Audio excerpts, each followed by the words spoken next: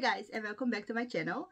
It has been a while. I haven't uploaded a video in the whole month of December. I was very busy with uh, my schoolwork from the university. I had a lot of essays that I needed to finish up and some other assignments and in the end it was it was just too busy. So now it's the new year. I hope you all had a good first week of the new year uh, 2024 year of the dragon so I think it should be a good year. And I wanted to close off last year with some books that I really liked. Uh, my favorites books of uh, the whole 2023 I have selected five books so it's not a lot so I hope it will be not too long of a video. But yeah let's just start with the first book. I'm going from five until uh, number one and number one is obviously my most favorite so they are this time in a particular order. Usually I don't make like a order of which one I like the most, but this year it just turned out this way. So uh, I'm going to start with number five. And I have a couple of non-fictions, two non-fictions and three fiction books. So it's, uh, I think it's a balanced uh, division. so uh, number five is Abroad in Japan by Chris Broad.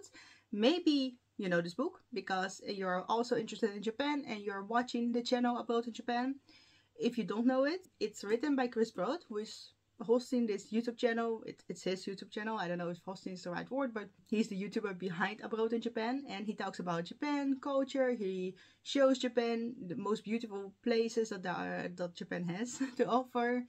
Um, but also he makes the commentaries and I really like his content. So when his book came out, I obviously um, immediately bought it and read it and it was really really good. I liked it. It's like a memoir of his 10 years, his first 10 years of living in Japan. So it's obviously non-fiction. It reads like a funny biography. Uh, it does contain some serious subjects, but most of the time it's just a lot of fun and uh, easy to read. And I just enjoyed reading through his stories and um, recognizing some of the things uh, that I also experienced when I was in Japan, but also just just read more about the country that I love. So I would recommend this one to anyone who wants to travel to Japan or has been to Japan. But yeah, this is my number five of the year. I gave it I think four or five stars, I don't know, but um, it's a book that really should be on this list. So I really enjoyed it. Then number four is fiction and it's uh, between science fiction and horror. Um, I do not often read science fiction, actually never, uh, with a couple of exceptions, and this is one of them. Um, and it's I Am Legend by Richard Matheson. The reason why it's science fiction is because the story takes place in the future, um, where the world is gone, like uh, there is an apocalyptic event with vampires. For so far we know, there's only one man left, one human uh, which is our protagonist and he uh, is called Robert Neville. This whole book is about him surviving but not per se like in a way like we think of like a zombie apocalypse surviving and fighting. There's not a lot of fighting going on, it's more his mental state. So he realizes that he's probably the last person on earth and uh, what does this mean for him? Like uh, what is the most important part? So he first talks about of course food and comfort and he tries out to survive. But then when he has accomplished a lot of things he has a kind of a safe house he has enough food he has enough stuff to survive um, for at least a couple of years. But now what is the next thing that he's really missing? Is it sex? Is it companionship? Is it friendship? Um, a partner that he can trust on? And yeah it's it's more a philosophical and psychological thriller than it is like horror or science fiction. So I really enjoyed it. And uh, I just like the philosophical discussions that he had with himself. And one sentence that I really liked is when he's talking about the fact that he's probably the only person left. And at the, in that moment, he thinks, I'm the abnormal one now. Normalcy was a majority concept, the standard of many and not the standard of just one man.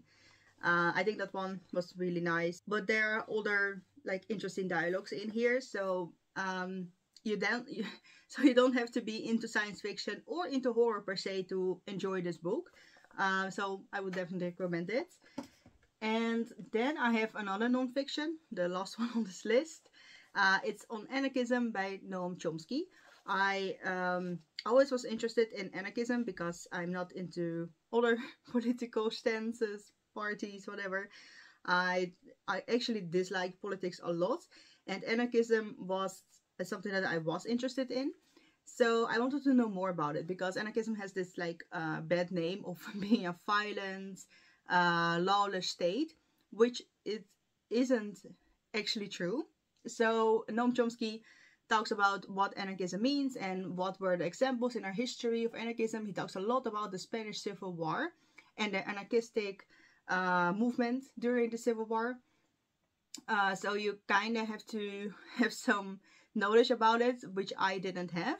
And sometimes it was difficult to follow what he's talking about, but uh, his writing is pretty clear and he explains some of the concepts and other concepts you can of course look up yourself but I think it's a good book uh, to start to read about anarchism and uh, I just like Chomsky's writing he does a lot of this kind of concepts he has also a book on language. Uh, another book that I'm interested in is on Palestine to know more about the conflict which is going on now of course.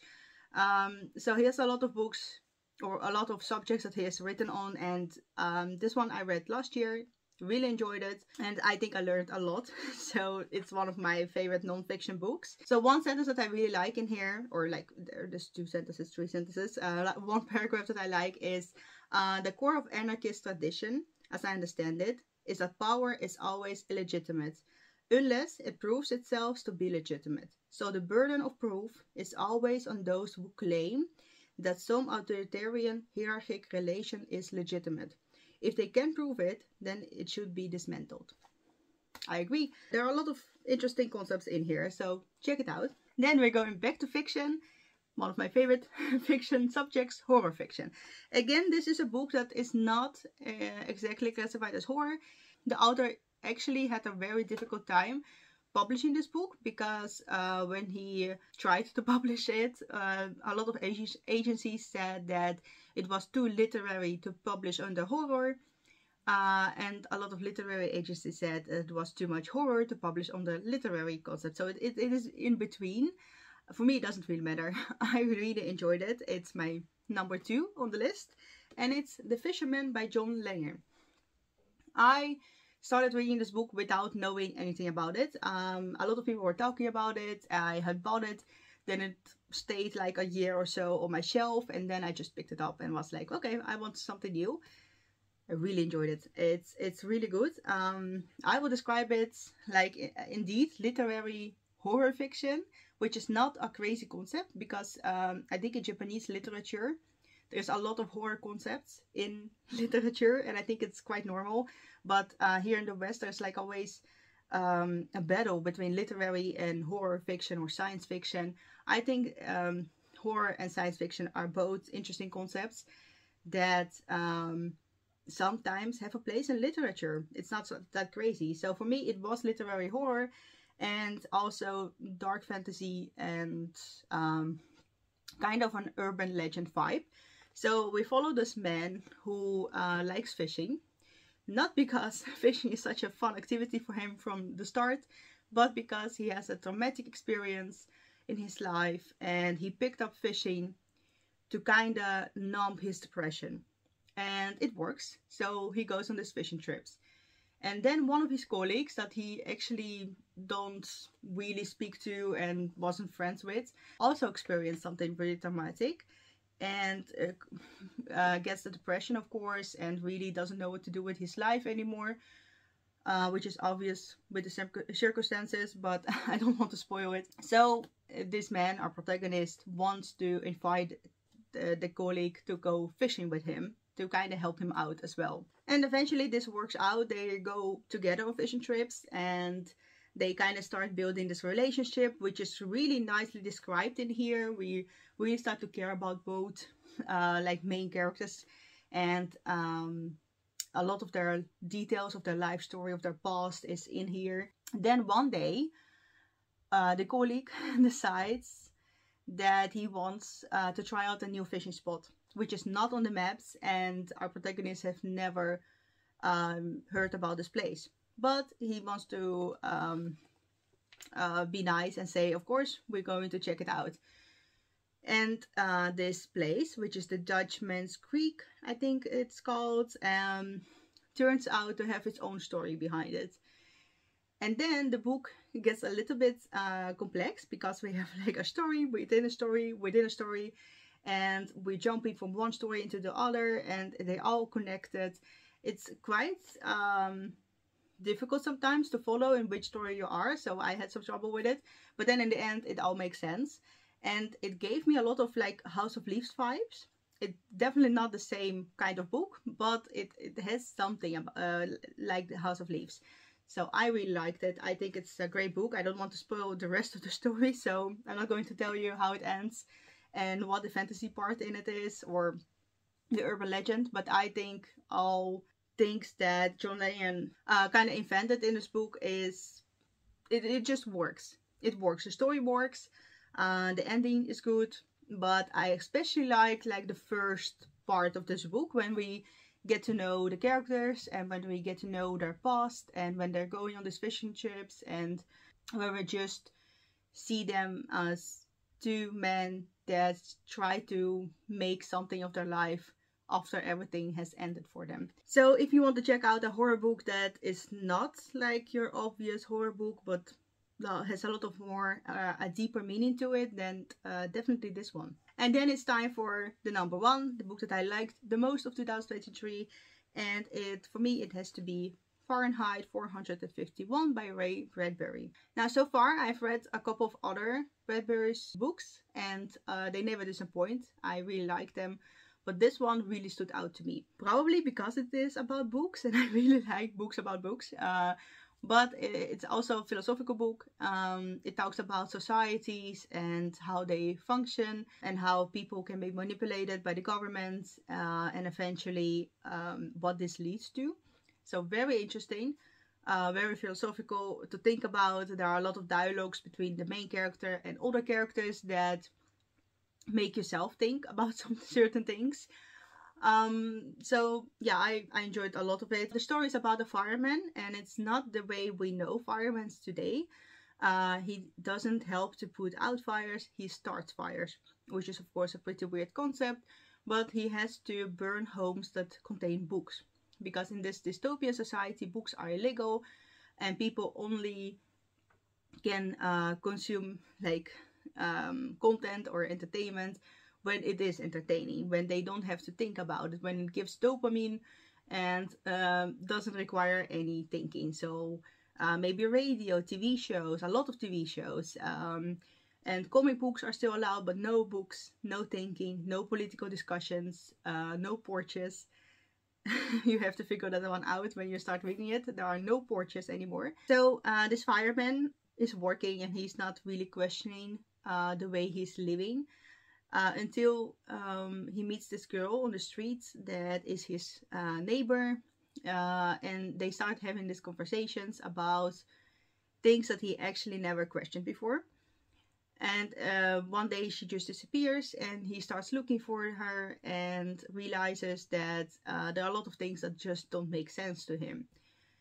And then he starts out to find more and more about the society that he's living in and um, has to make decisions and has to realize for himself what how he wants to go on in in this way that he was currently living. So that's very difficult especially in his profession uh, he's on a, a, lot of control, uh, a lot of a lot of pressure. So the story was quite suspenseful. Um, you really go through him in this whole existential crisis that he has um, and the ending is quite spectacular. So I would really recommend this book. And again, one sentence or one paragraph that I really liked in here is when he is talking to uh, some men that are also excluded from the society. And one of those men says, Everyone must leave something behind when he dies. My grandfather said, a child or a book or a painting or a house or a wall built or a pair of shoes made or a garden planted, something you hand touched some way so your soul has somewhere to go when you die. And when people look at a tree or the flower you planted, you're there. Or another one is when we forget how close the wilderness is in the night, my grandpa said, someday it will come and get us, for we will have forgotten how terrible and real it can be. So um, this relates to the people that are living in the city and not thinking about nature, not thinking about the things that they should care about. They actually not care about anything since their government doesn't want them to think. They only are entertained and happy. Um, it made me think of that game that I own but never really played. Uh, but it was quite popular a couple of years ago, I think. Uh, we Happy Few. It's about people that are also drugged into thinking that they're happy and um, no discussion can be, of course, uh, uh, discussed between the people. Um, they have to be happy all the time. And also another book that comes to mind is, of course, um, Brave New World by Aldous Huxley. So yeah, a lot of interesting concept is in here as well. And those were all the books that I really enjoyed in 2023 and I have three more honorable mentions. I'm going really quickly through them. So the first honorable mention is Why I Write by George Orwell and um, it, these are uh, essays, I think five or four essays and the first essay is also called Why I Write. Uh, four essays. So I picked this book up because I wanted to have some tips on writing from George Orwell because I like his writing and also just I like reading essays. But it's also a lot about politics, which I don't really like, but I think George Orwell is also good and, uh, and clear at explaining uh, the political concept that he's mentioning. Mostly it's about the British politics before World War II and how World War II um, was able to be what it was, so big, and what Britain's role, role was in it. Uh, so he talks a lot about it, and the reason why he goes into politics is because he thinks that, or his opinion is that uh, writing has also a very important part in politics, which I agree with. But also for him, writing is necessary when there's something to write about that he wants to change um, or that he's not agreeing with. So even fiction when he's writing fiction, he think he's thinking about uh, concepts that we have in our world right now that he would like to change. So that was one was very interesting, and I think in the last essay he's talking about style and uh, the English language, and also about politics, but um, especially about the English language as it is as, as it is used. He gives uh, a couple of tips that are I think good for all writers. But one of his tips I think is very important when he says uh, you have to write clearly and as easy as possible. You don't have to use uh, difficult words or just invent words in your uh, text just to make yourself sound intelligent because it doesn't make your writing intelligent. It just makes it difficult and uh, your point that you want to make clear is not clear anymore. So you kind of lose the meaning behind your sentence. So if you can write it in normal language, write it in normal language. And uh, especially he's talking, I think, about uh, scientific uh, articles, which sometimes use like ridiculous words to describe some concepts, uh, which only makes the article difficult. Uh, but also about other literary works. Um, he, he gives a lot of examples. So really interesting. Um, but I didn't include it in my top five because I already had one political book, so uh, and two non-fiction books in total, so that's why it's an honorable mention. Then a book which is a classic that I also really liked is A Picture of Dorian Gray uh, by Oscar Wilde. Uh, was the first time that I read it. I wanted to read it for a long time. And obviously I enjoyed it. The writing is good. The story is interesting. Uh, the characters are very vivid and character of Dorian Gray is very important, but also his friends, uh, the two friends, one painter and one aristocrat. I really like the, the dynamics between them. So this is the censored edition. I also own the uncensored edition, which is published later, and I want to read that one as well. And I think I'm going to read it for October this year. So who knows, but I really like this one. And lastly, uh, Orlando by Virginia Woolf. This one also got 5 stars for me, but not per se because of the plot of the story, but because of the writing style. Uh, it's very different from what I read before in my other books. so this was the first book that I read from Virginia Woolf. And uh, this like strain of thought that he's like the way she's writing really makes you see the ideas and the mind of the character of Orlando. So I really like that way of writing. Uh, sometimes it was a little bit difficult to follow in which like year we were at because the time just flies by and then she goes back uh, into the past and then in the end you actually don't know in which time period you are at the moment um, which is also interesting which also adds up to this like uh, hallucinogenic effect of the book um, so yeah check this one out it's not easy to read but um, it's worth it those were all of the books um, i'm glad that i didn't make too long of a list because I always talk too much about the books, so it's still going to be a long video. In the next video, I probably will tell you what I read in November and December, or I will um, talk about my reading goals for this year. So yeah, expect one of these two videos um, in the near future. And I try to pick up YouTube again in January and just uh, try to post one video a week. At least I will try. And if you want to know what I'm reading, you can always follow me on Goodreads. There it's always up to date what I'm reading at the, currently at the moment. And also I have a blog on Medium and on my own website. You can find those in the description down below uh, to see which books I review. Uh, all of the lists of books that I want to read, it's all in there. And also things for language learning uh, because my channel is also about language learning. Uh, so my goals or the resources that I use you can always find it on my blog. Thank you so much for watching. I hope you also had a wonderful reading year in 2023. I know it wasn't an easy year to live in, but uh, I think books are a great escape for what's happening in the world. So um, read a lot and uh, let me know in the comments what your favorite book was. It could be multiple books, it could be one book, you can choose. Um, but let me know what you were reading and what you really loved. So thank you so much and I will see you next time. Goodbye.